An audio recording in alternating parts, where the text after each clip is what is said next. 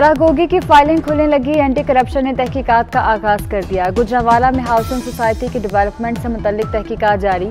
जराये के मुताबिक शहरियों को जी मंगोलिया हाउसिंग सोसाइटी में प्लॉट्स की फाइलें बेची गई। प्लॉट मौजूद ही नहीं।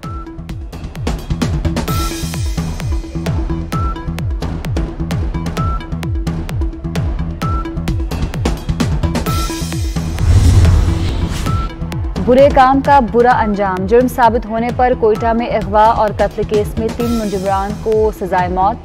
इंसदाद दहशत गर्दी की अदालत ने दाऊद शहजाद, मेहदी और इफ्तार को दो दो मरतबा सजाए मौत सुनाई।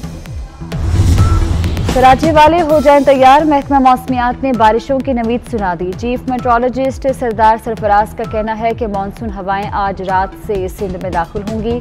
तीन जुलाई तक पाँच जुलाई गरज चमक के साथ मूसलाधार बारिश का इम्कान है।